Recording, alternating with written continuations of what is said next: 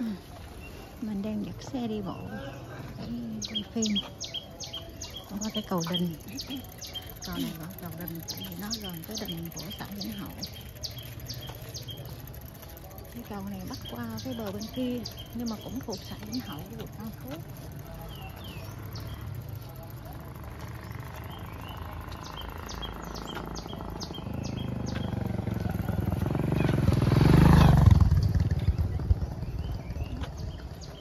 cái xuồng nữa nó quạch cái xuồng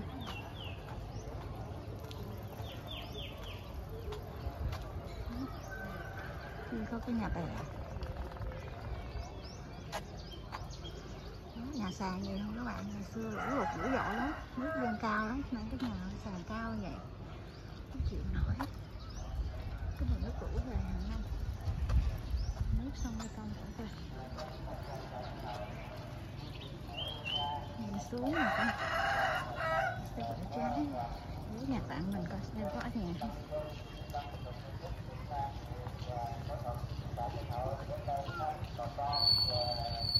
Có này như con đường đang làm cũng may là trời không mưa chứ thôi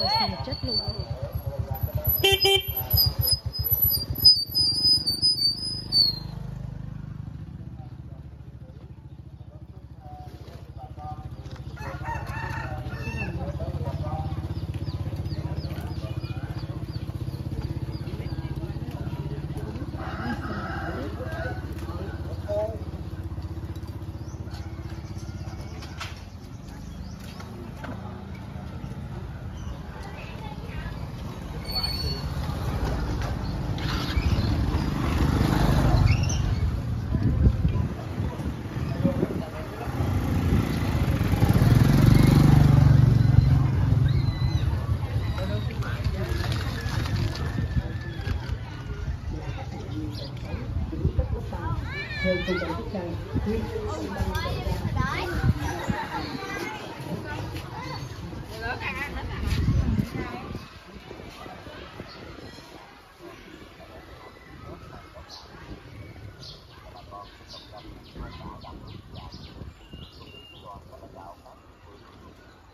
tìm dòng quay lại nhà bạn.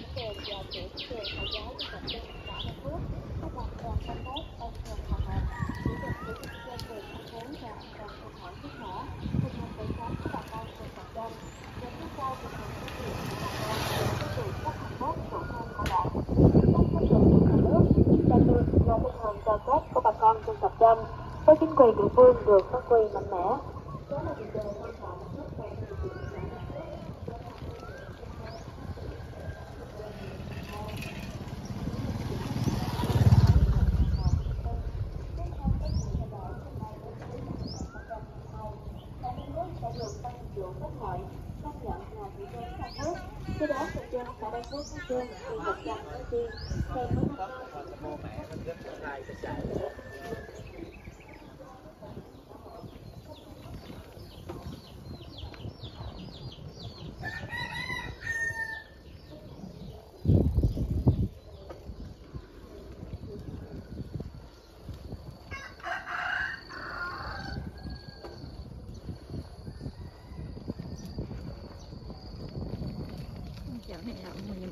mình này quay lại.